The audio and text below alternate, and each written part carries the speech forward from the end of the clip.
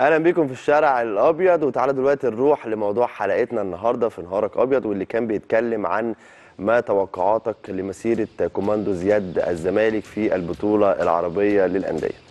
تعالوا كده ناخد آراء جمهورنا على ال social media ونبدأ طبعا من عند عبد الله عبد الله السالم طبعا اللي قال وبيتكلم. صباح الخير عليك. طبعا خالد بشكرك. وطبعا البطولة صعبة. وكمان بسبب تأخر سفر البعثة لكن ما فيش حاجة مستحيلة على رجالة اليد ولكن عندنا ثقة إن شاء الله في ربنا ثم في اللعيبة إنهم يقدروا يفرحونا والتتويج باللقب والتاهل لكأس العالم بقيادة الأسطورة أحمد الأحمر. مين ده؟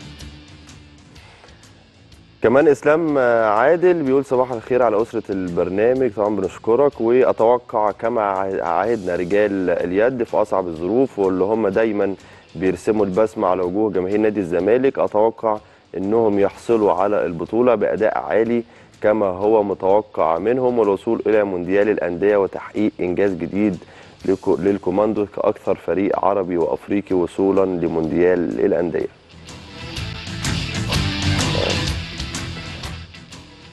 نروح لأحمد عبد الفتاح اللي بيقول تحياتي ليك طبعا بنشكرك يا أحمد وبيقول إن شاء الله كوماندوز يد الزمالك يحققوا البطولة العربية ويتأهلوا لكأس العالم للأندية زي ما عودونا دايما ملوك اللعبه في مصر وأفريقيا والعرب وفريق مصنف على المستوى العالمي عاش الزمالك وعاش حبه في قلوبنا.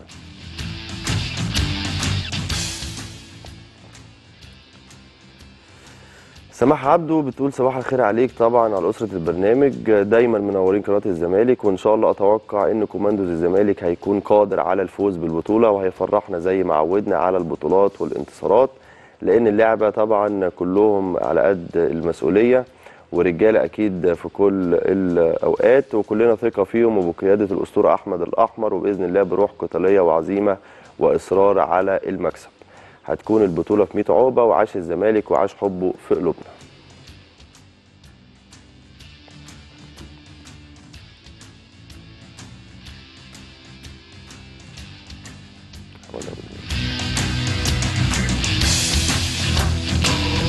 صباح الخير عليك. طبعا بنشكرك يا أحمد وأتوقع إن شاء الله كوماندوز اليد يحققوا البطولة العربية ويتأهلوا لكأس العالم للأندية كما عودونا دائما. ملوك اللعبة في مصر وأفريقيا والعرب والفريق المصنف على المستوى العالمي وكمان إحنا كلنا ثقة فيهم وبالتحدي والعزيمة والإصرار وكل التوفيق لكوماندوز اليد في هذه البطولة. وتحياتي ليك. طبعا بشكرك جدا يا أحمد.